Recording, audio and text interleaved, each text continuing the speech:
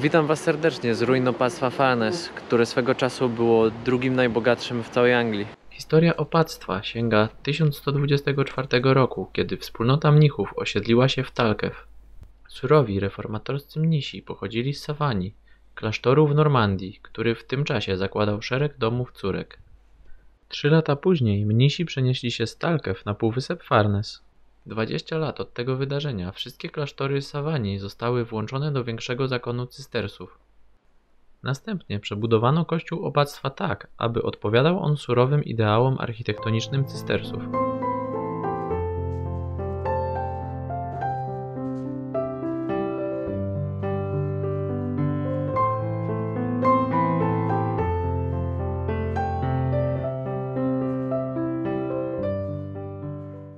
Opactwo szybko zaczęło prosperować, a hojność jego pierwszych dobroczyńców stanowiła podstawę bogactwa do końca średniowiecza. Cieszyło się także królewską łaską. Król Jan podarował na początku XIII wieku puchar o wartości 20 funtów, a później przekazał drewno do prac budowlanych oraz wino dla opata i mnichów. Bogactwo umożliwiło budowę wielu budynków wokół klasztoru. Ich skala wskazuje na wielkość społeczności w XIII wieku, która prawdopodobnie liczyła około 100 mnichów i dwa razy więcej braci świeckich.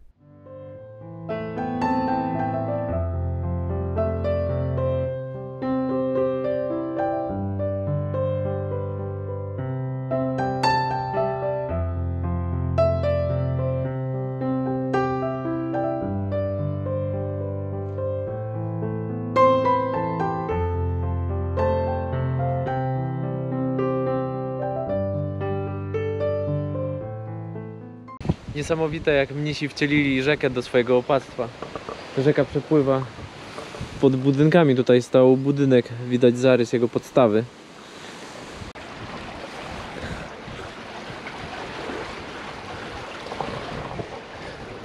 Do tego jeszcze odchodzą takie kanały, które były prawdopodobnie kanalizacją, która wpadała do rzeki spod innych budynków. Nieźle jak na czasy, w których to budowano. W 1316 roku szkocka armia najeźdźców spowodowała zniszczenia w całej północno-zachodniej Anglii, w tym na półwyspie Farnes. Szkoci powrócili po ośmiu latach, ale tym razem opat z Farnes zapłacił okup, aby żołnierze oszczędzili jego klasztor i posiadłości. Z powodu tej wojny opactwo otrzymało królewskie pozwolenie na ufortyfikowanie swojego dworu na wyspie Peel.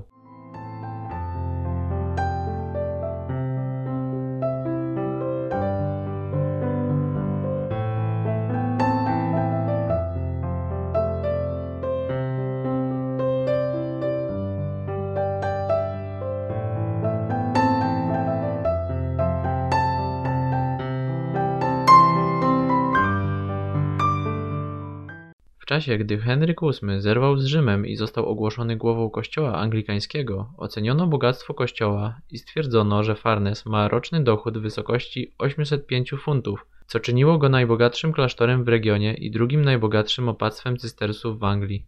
Gdy Farnes zostało przejęte przez koronę, komisarze zostali wysłani, aby nadzorować rozproszenie mnichów i zniszczenie kościoła i innych budynków. Zwróćcie uwagę na kolor tych kamieni. Jest bardzo ładny. Opactwo zostało w całości wybudowane z lokalnego piaskowca, który właśnie ma taką śliczną barwę.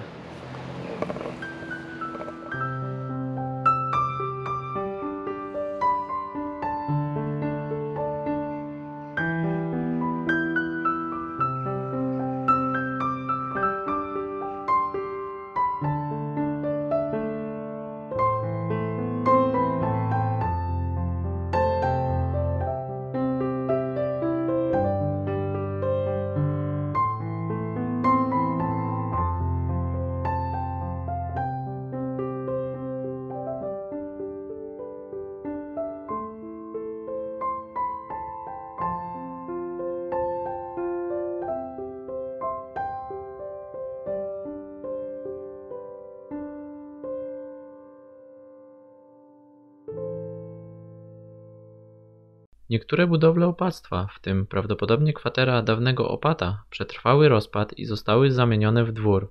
ale pod koniec XVIII wieku stracił status i był używany jako zwykłe gospodarstwo.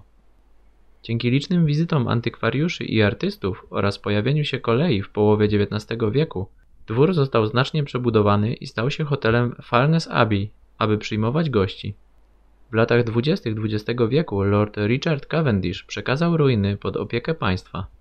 Potrzebne były pilne prace, aby zapobiec zawaleniu się wschodniego krańca kościoła z powodu osiadania spowodowanego zalaniem. Uszkodzenia powstałe podczas II wojny światowej doprowadziły do wyburzenia większości hotelu, a obecnie na jego terenie znajduje się centrum dla zwiedzających i parking. Wciąż dokonuje się nowych odkryć dotyczących opactwa. Niedawne prace wykopaliskowe na wschodnim krańcu kościoła ujawniły szkielet opata, którego pochowano z symbolami jego urzędu, pierścieniem i wspaniałym pastorałem.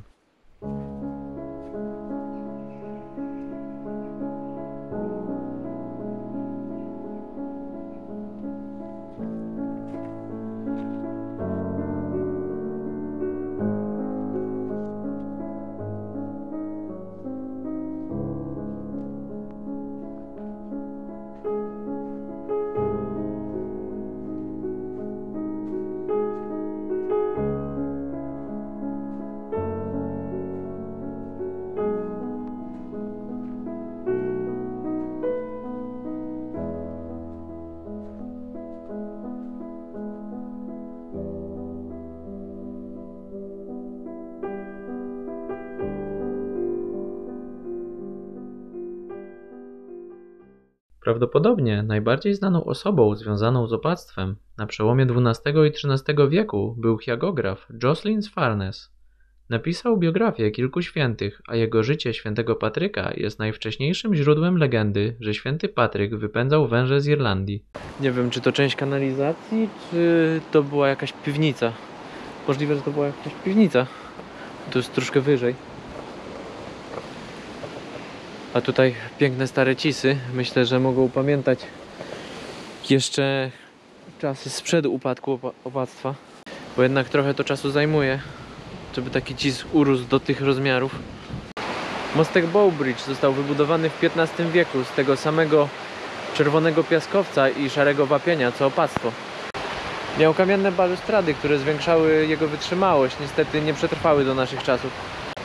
Został zbudowany w celu ułatwienia dostępu mnichom do nowego młyna. Ale ponieważ znajdował się na obszarze ważnego szlaku handlowego, na pewno miał jeszcze większe znaczenie. Wygląda na to, że lokalne dzieciaki bawią się tutaj skacząc do wody.